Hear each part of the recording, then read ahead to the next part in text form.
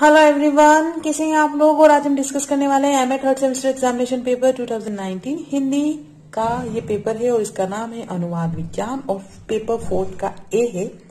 और चलिए video start करते हैं तो मैं हूँ सोनम जैन और ये पेपर भी आपका 40 मार्क्स का हुआ है। इसमें भी टू सेक्शन है। सेक्शन ए होता है आपका five into three fifteen marks और ईच क्वेश्चन आपके हंड्रेड वर्ड्स के अंदर इसका मतलब आंसर देना होता है।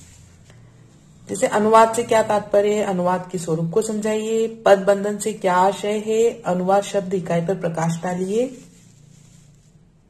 अनुवाद की प्रक्रिया पर प्रकाश डालिए। अनुवाद के विश्लेषण से क्या आशय है? अनुवाद के क्षेत्र में विज्ञापन के महत्व को स्पष्ट कीजिए। अनुवाद के क्षेत्र से क्या आशय है?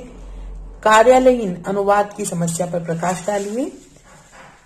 परिभाषा शब्दावली के निर्माण की समस्याओं पर प्रकाश डालिए। अब आ जाता है आपका खंड पर यानी दीर्घ उत्तरी प्रश्न five into five twenty five marks each question five marks और हंड्रेड वर्ड्स में लगभग इसके आंसर देने होंगे। वीडियो अच्छी लगे लाइक करें शेयर करें।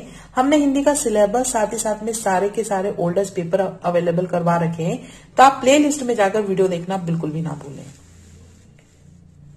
अब आ जाता है आपका क्वेश्चन सेकंड भारत में प्राचीन अनुवाद परंपरा का परिचय, अनुवाद की सीमाओं पर विस्तार से प्रकाश, अनुवाद की इकाई के स्वरूप में वाक्य, पाठ एवं प्रकाश डालिए, अनुवाद कला है या विज्ञान पर संक्षिप्त प्रकाश डालिए, अनुवाद की प्रक्रिया में अंतकरण, पुनर्गठन को स्पष्ट कीजिए स्त्रोत्र भाषा और लक्ष्य भाषा पर विस्तार से प्रकाश डालिए, साहित्यिक अनुवाद पर प्रकाश डालिए, संचार माध्यम में अनुवाद की भूमिका पर प्रकाश डालिए वैज्ञानिक एवं तकनीकी साहित्य में अनुवाद की समस्याओं पर प्रकाश डालिए, अनुवाद की प्रमुख समस्याओं पर संक्षिप्त में प्रकाश डालिए।